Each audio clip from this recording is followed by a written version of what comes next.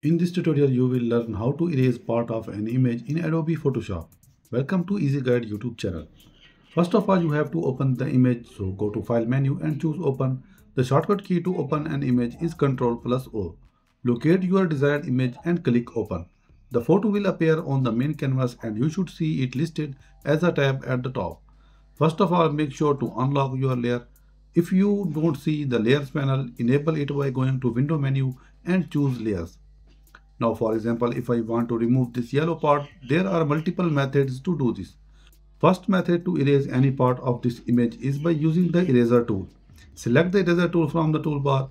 In the options bar, adjust the size and hardness of your eraser. Then click and drag the eraser over the area you want to erase.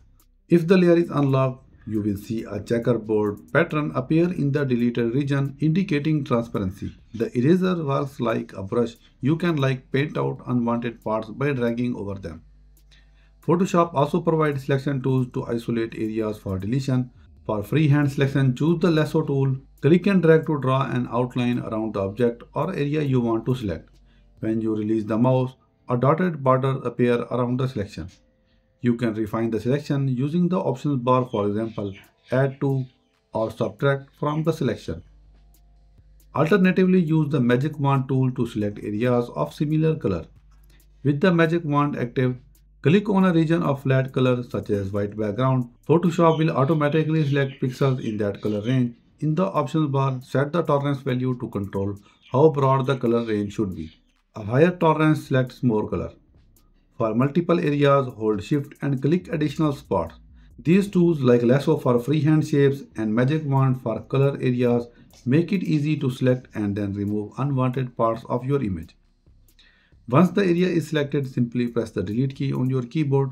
The selected pixel will be removed from the image. If pressing delete does nothing, check the layers panel.